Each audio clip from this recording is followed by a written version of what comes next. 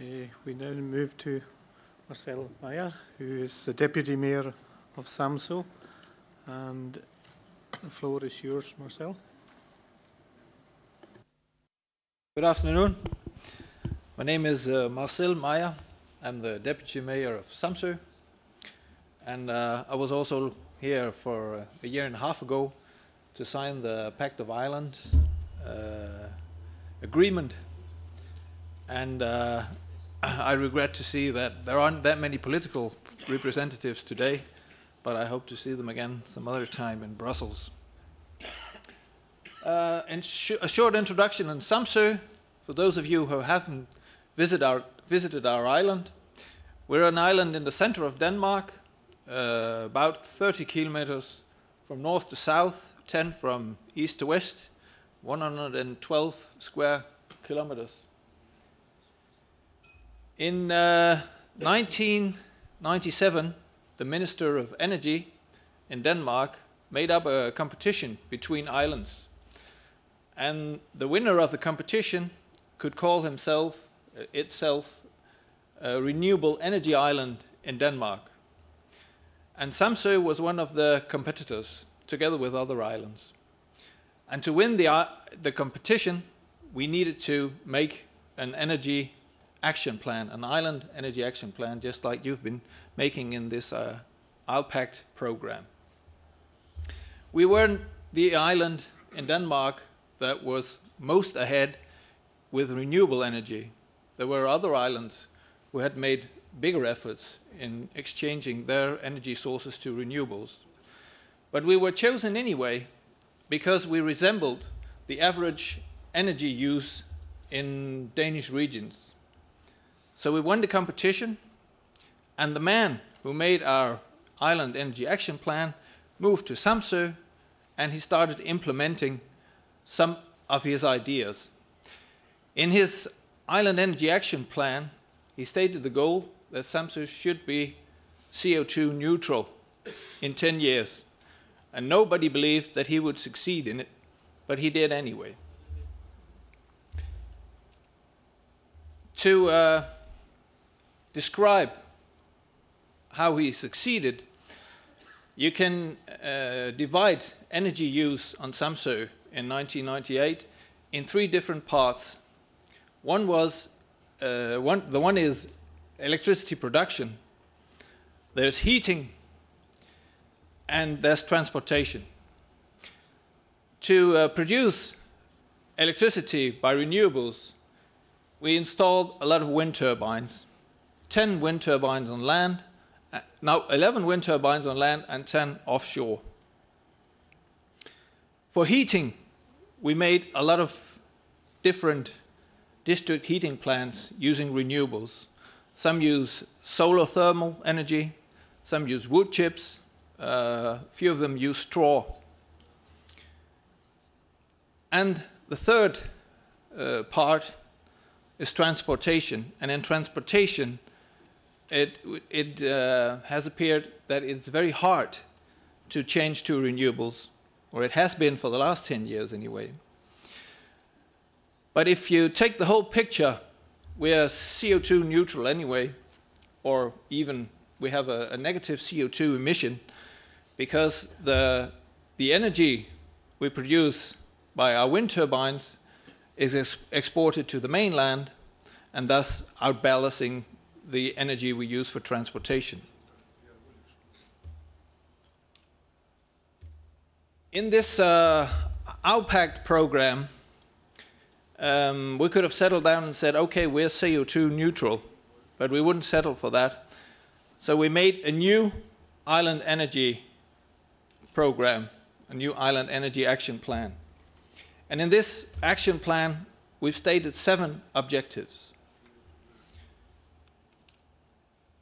The first objective is that we want to be fossil free uh, in a number of years. Now, as we already have a negative CO2 emission, it doesn't make any sense to, to have a goal that says we want to reduce CO2 emission by uh, any kind of percentage. So we want to banish instead all fossil fuels from Samsø. That's one of our goals. And it also reflects that our problems in changing to renewable sources mainly lie in the field of transportation. The second objective states that uh, the decentralized and flexible energy syst system for renewable energy production is maintained and further developed. This goal reflects that when we implemented renewable energy sources, we did it very decentralized. Our district heating plants are owned by local consumers, local constructors, or local energy distributors. Our wind turbines are owned by local farmers or different associations of local uh, shareholders. Also, our local municipality owns five wind, uh, wind turbines. So we are locally uh, based in our energy production. And the initiatives for changing to renewable energy are also come from the locals. Apart from that, different private households also have invested in renewable energy sources, changing oil burners to wood stoves or heating pumps or investing in PV uh, systems or solar thermal systems.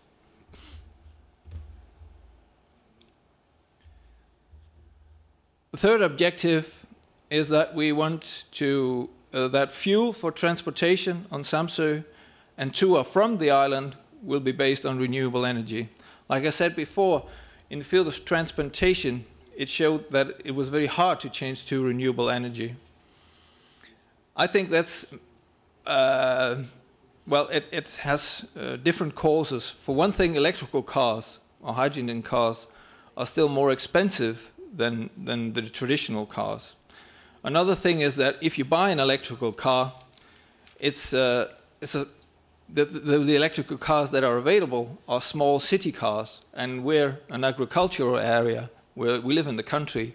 People want a, a decent car, an ordinary car that they can use as status symbol. So it's, it's, it's, it's showed to be very hard.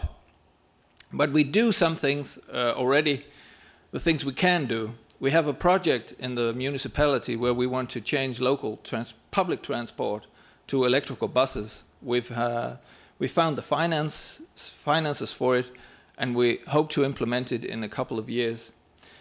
Our elderly care in the local municipality has uh, bought a number of electrical cars. The cars have a radius of uh, 120 kilometers, and that's enough for them to drive around in the area, which belong to the, the different sectors in the elderly uh, care, to reach all the people that they have in their program. So we use electrical cars there. When we come to, uh, to ferries, uh, some of you already have mentioned that that's also a problem for us as an island if we want to change to renewables.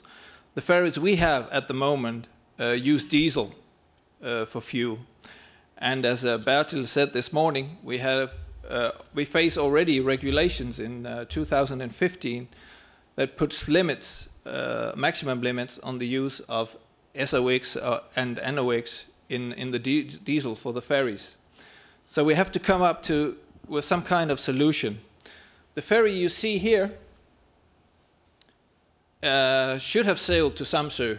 At, for some reason, it didn't. it's too long a story to tell here. But um, this ferry has a room, has, uh, it, it's designed in a way that it can be changed to use uh, li liquid natural gas. And uh, we have to have a new bid for who is going to sail to Samsø uh, in the next uh, five to six years from the 1st October the 1st, 2014. And as a local municipality, we asked the ferry companies to come with an offer uh, on with a price for what does, what does it cost if you have to use diesel for sailing, and what does it cost if you have to use liquid natural gas for sailing?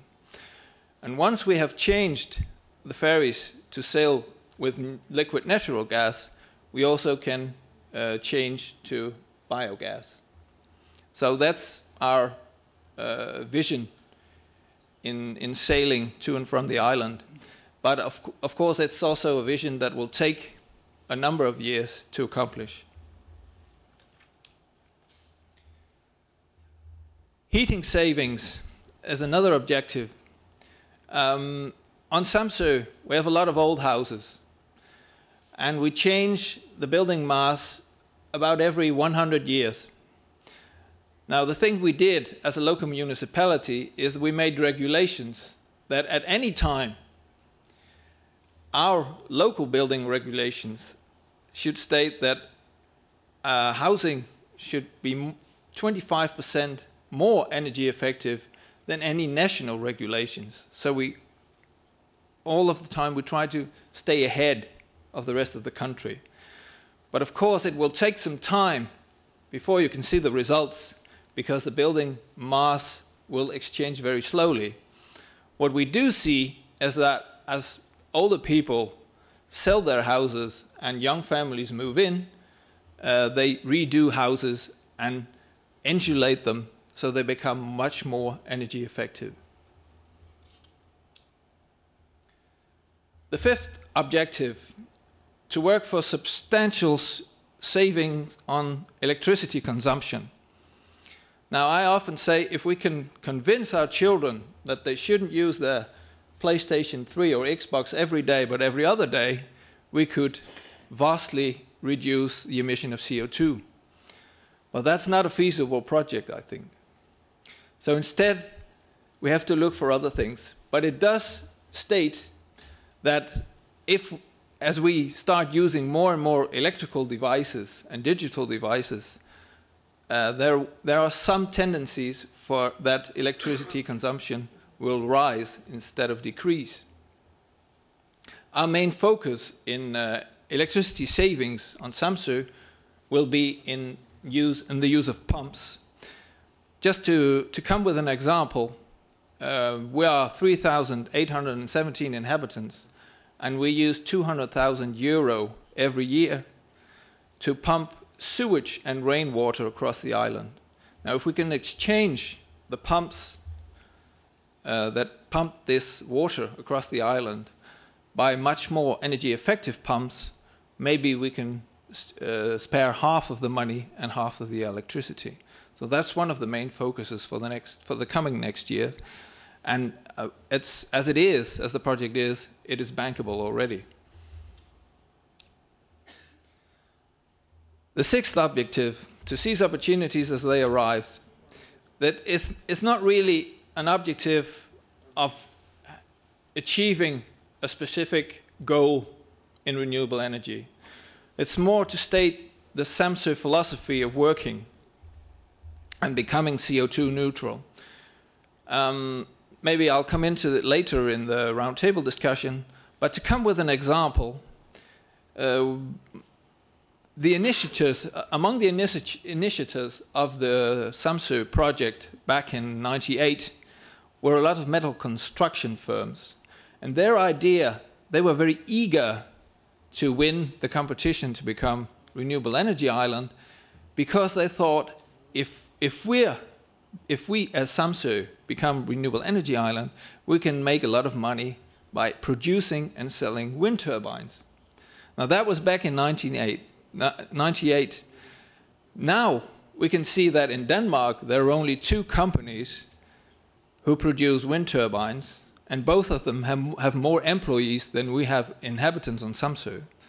So of course the idea of producing wind turbines was a failure, and they never got any success with it. But instead, these metal companies had another, got another role. They weld the pipelines and produce the pipelines for our district heating plants. And so they, by being very flexible, they had success. And that's what we mean by stating that you have to take the opportunities as they are. It's very good to make an island energy action plan, but in a couple of years, you have to be flexible and change your goals along the way. The seventh objective, and the last one, to strengthen and establish partnerships. Now, here I'd like to stress that although I'm the deputy mayor and a representative of our local municipality, much of the, the main actor in our energy pro projects is the energy agency integrated now in the Energy Academy. And this actor is mere an association of local inhabitants and shareholders. So it's not the local municipality that is the main actor, but it's local private SMEs and uh, people who are very much, other people who are very much involved in changing energy sources to renewables. So we always try to coordinate our actions with local producers, local constructors, constructors and local consumers. And this is the, the best way of making sure that there is no local resistance to changing to renewables, and also the best way to make sure that the local SMEs are ben benefit from the actions that we're taking. Now, finally, I've stated a lot of long-term goals. The short-term goals for our, our, in our energy action plan are pumps, like I said, uh, public buses, which have to switch to electricity, and uh, a biogas plant. We had a biogas plant on Samsø uh, once, but it closed down because it was connected to a pig farm and pig prices decreased so our biogas plant was useless, but we want to reinvent biogas on Samsø, and that should be possible as well. As a final remark, now that this uh, ISLE-PACT program is finished, I, uh, I would really very much like to see all of you in a couple of years, two or three years, to see what has become of your uh, energy action plans and to present once more what has become of our plans in the short term for the next couple of years. Thank you very much.